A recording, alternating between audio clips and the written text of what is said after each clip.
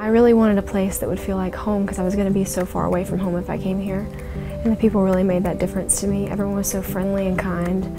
I knew that I would fit in here. What really made me pick uh, South Alabama was the one-on-one attention that everyone gave me when I came. I met with the dean and he was very, very nice. And he took a great interest in me and not all other schools did that. He walked me around the building. I got to sit in on a professor's class and truly that's what sealed the deal for me because that professor was amazing and even as a high school student and they were halfway through a semester, I understood what she was talking about. I could tell that if I came to this school, I would really learn the information. One of the best things about South that I've noticed is when I go to classes, I don't see that many new faces. Now in the beginning, of course, you're going to see new faces, but as you go through your journey, you're going to see the same people and you're going to be able to make groups and make study groups and learn and study so much better because you have those people supporting you through the process.